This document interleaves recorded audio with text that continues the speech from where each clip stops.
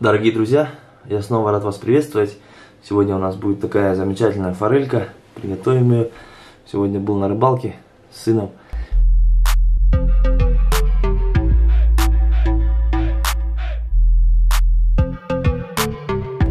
Поймали троих таких форелей. К сожалению, а может быть и к счастью, забыл камеру. Не снял тот момент, как мы их ловили. А то, как обычно бывает, возьмешь с собой камеру, ничего не поймаешь. Сегодня без камеры вот наш улов. Приготовим их сегодня по очень простому рецепту. Быстро и очень, самое главное, будет очень вкусно. Для начала нужно рыбу почистить.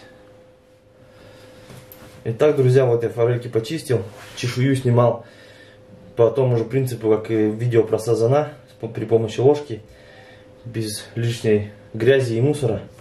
Также удалил жабры, внутри уже все промыл тоже, прочистил. Теперь нужно рыбу просушить кухонными полотенцами.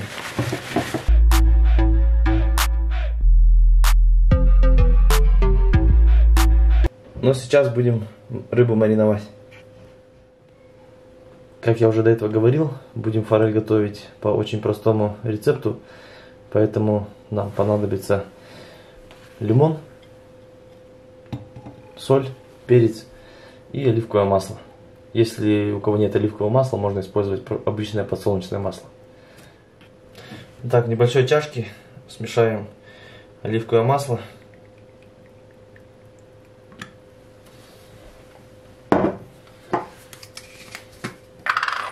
Соль.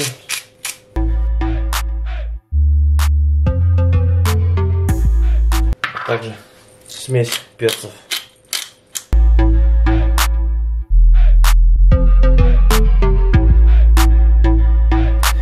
Теперь нужно это хорошо размешать.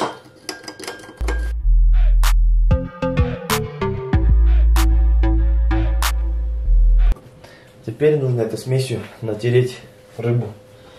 Но предварительно проделаем на рыбах вот такие небольшие прорезы, чтобы она лучше пропиталась, просолилась.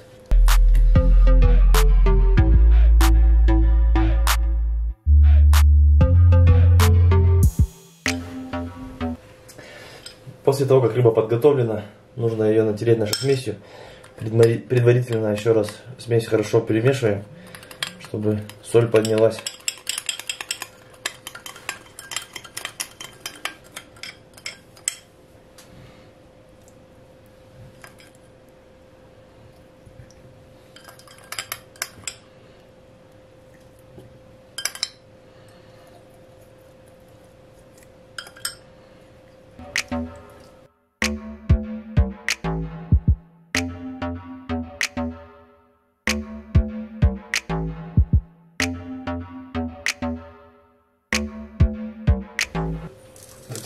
Сверху немного еще посолю. Это морская соль.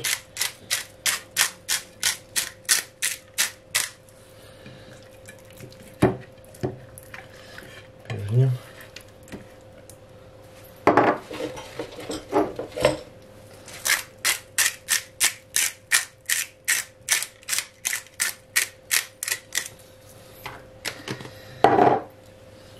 Теперь выдаем сверху немного сока лимона.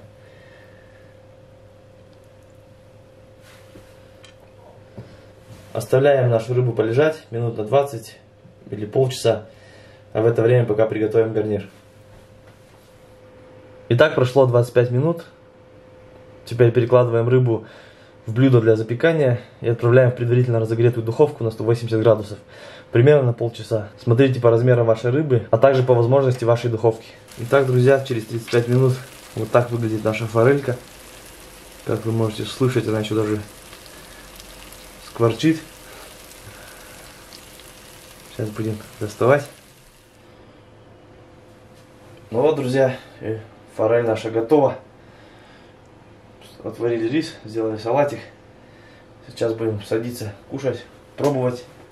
Экспериментируйте вы тоже. Попробуйте так приготовить. Получается очень вкусно. Уже попробовали. Всем всего хорошего. Спасибо за внимание. Ставьте лайки, комментируйте, подписывайтесь на канал. До новых встреч.